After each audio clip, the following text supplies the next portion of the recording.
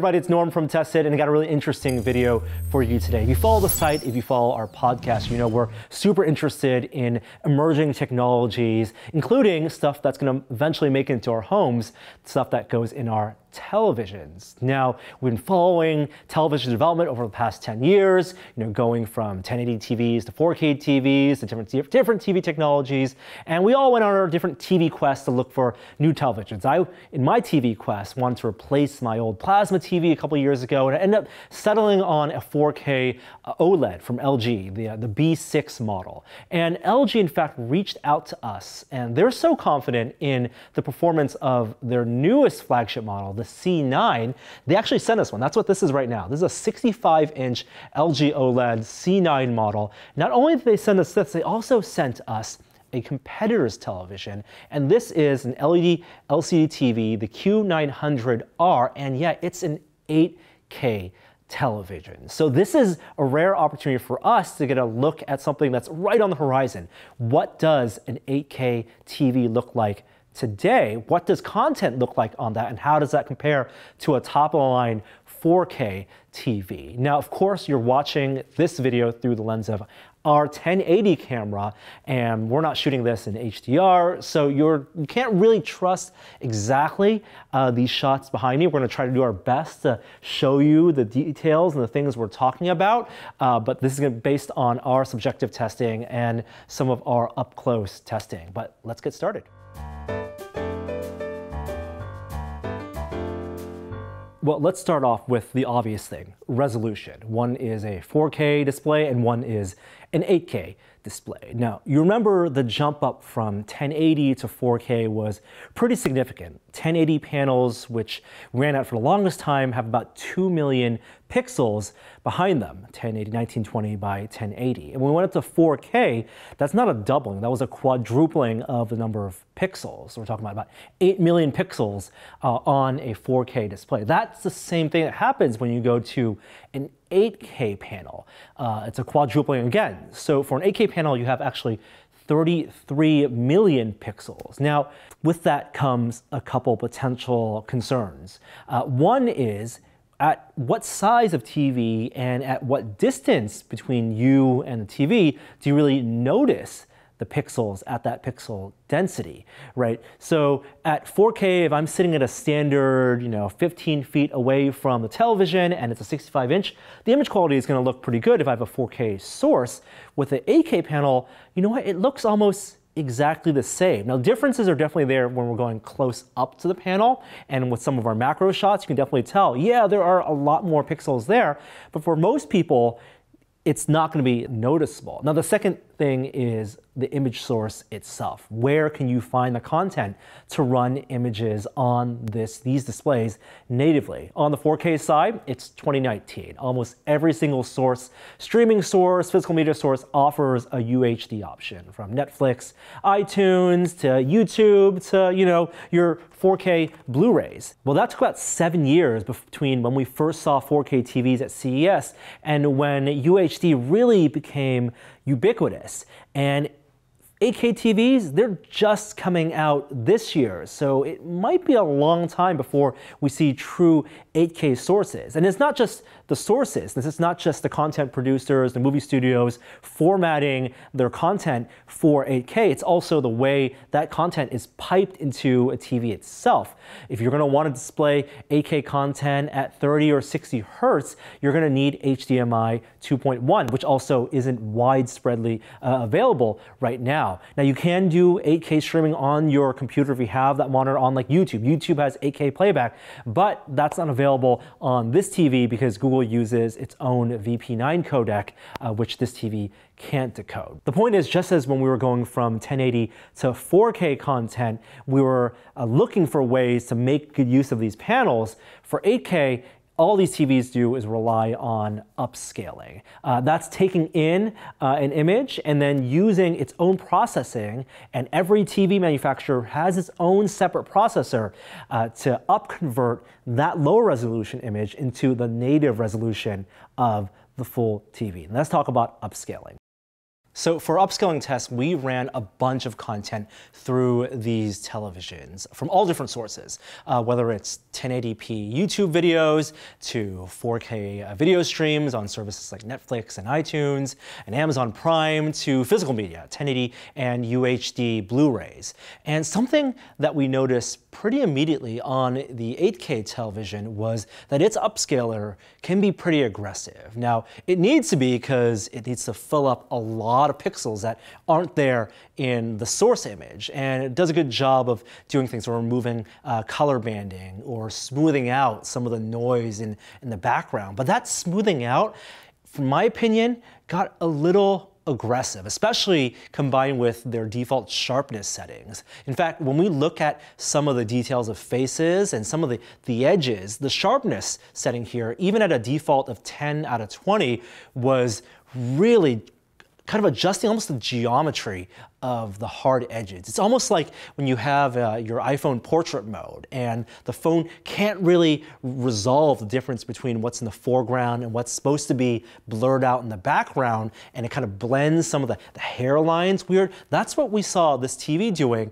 with some of its image processing. Some of the naturally uh, blurry bokeh images that you get from shallow depth of field, you were seeing unnatural hard edges in there. And some places where you do get hard edges on like the rims of glasses, we saw that the smooth curves, actually the geometry was being distorted. So we quickly turned down the sharpness setting from 10 all the way to zero. And even then, uh, some of those images I, I felt just look a little bit unnatural, almost like if you were running the image through a Photoshop filter, like a posterized filter, almost like they were vectorizing it in some way. It's kind of really weird. Once I saw it, I couldn't unsee it. On, on the LG side, it does upscaling as well, and I think it's less aggressive. Like a 1080p source on the 4K TV, I could getting up close, notice some of the pixelization, but I also didn't notice any geometric distortion. The sharpness here, default was 10 out of 50, and of course, we tried all the way up to 50, all the way off, and while there is some sharpening happening, you see more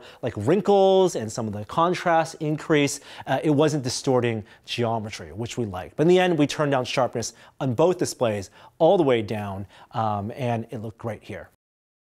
What we found that was more important of a difference between these two models ended up not being the resolution at all. It ended up being the other features, something that you should also shop for, which is HDR.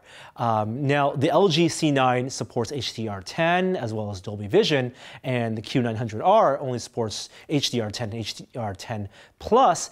We found going direct head to head on something like Netflix, which offers both Dolby Vision look remarkably better. Uh, if you have Netflix, I recommend you pull up the show Godless. It's a Western, it's a great show. I love the show. It, it's aggressively made for HDR showcasing, I think. They have some beautiful vistas with hard highlights in the skies. There are scenes where you go from these uh, dark barns to the lights peering through. And HDR, if you haven't seen it in person, it is a game changer, I think bigger than resolution change. Images look strikingly more real. The, the highlights look like, you know, look like light bouncing off the sun as opposed to just the brightest white you can get on a flat sheet of paper. And in comparing the two, it really reinforced to me just how good the Dolby Vision version of HDR is. And so thankfully the C9 has that, which also leads us to talk about the fundamental differences between the panel technologies themselves.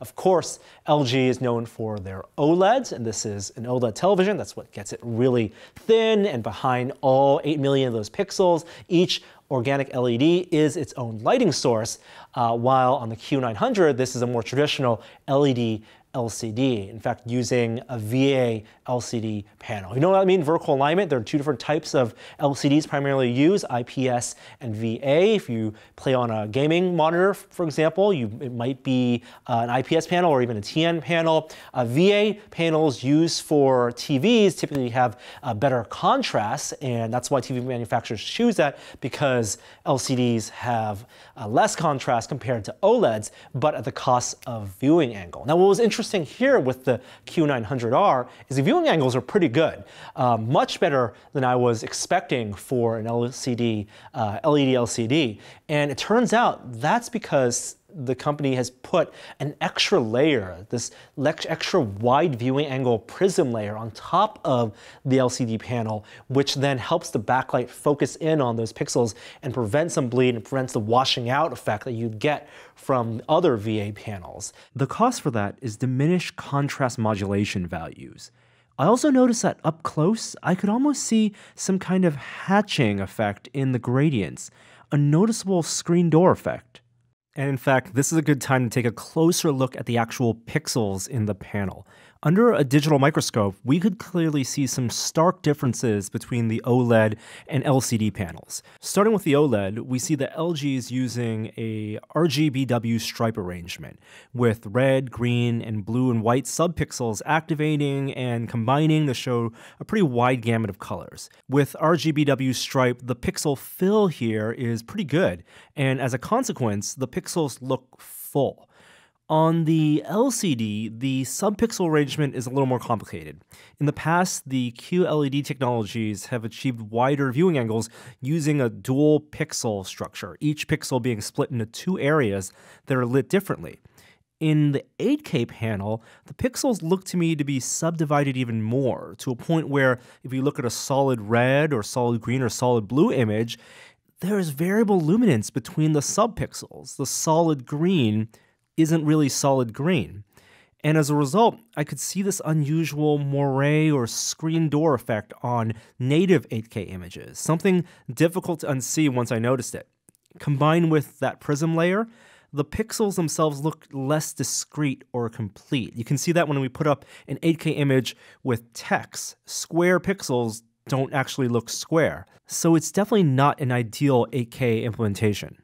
Uh, the OLED, though, has just stupendous color representation. The brightness is great on both of these, but the black levels is so good on all types of content. Um, and because HDR is independent of resolution, even if you're running, you can get HDR on 720p content. Uh, I found I got most benefit out of the C9 watching content in HDR and watching content in Dolby Vision. So the long and short of it is that it really is an apples to oranges comparison because not only are we talking about different panel resolutions, 4K and 8K, we're also talking about fundamentally different panel technologies, OLED versus LCD. And on the resolution side, I think the jury is still out on 8K. And I think it's going to be out for a long time because one, we just don't have native 8K sources. Even the way to get those 8K sources onto the TVs today are fairly limited. We need to wait and see how good HDMI 2.1, how widespread, how cheap those cables are going to be um, for that to work. Uh, but in terms of the 8K content today, what you can watch in quote unquote 8K, it's going to be varying from manufacturer to manufacturer. I mean, LG is going to have their own 8K TV eventually, and they're going to have their own upscaler and their own way of processing 4K and 1080 images. And so the more app comparison would be for that. The more interesting comparison is with panel technologies. I think today uh, you're going to get the most bang for your buck looking at a 4K TV over an 8K TV. And in the 4K realm, I don't think you can beat OLED. I stand by the, the deep black levels on LG's OLED, the Dolby Vision support, which I think offers the best quality HDR right now. I'm really glad I was able to get a direct comparison between OLED and top line LED LCD because LED LCD does great HDR, the brightness is great. I just think that the black levels, the contrast isn't quite up there with the LG OLEDs. And because there is widespread 4K content today, that's what I would go and stick with. Uh, so that's my recommendation. We'll be doing more comparisons in the future. And if you have questions about what content looks like on either of these displays, post in the comments below and we'll try to answer them as best as we can. But thanks for watching.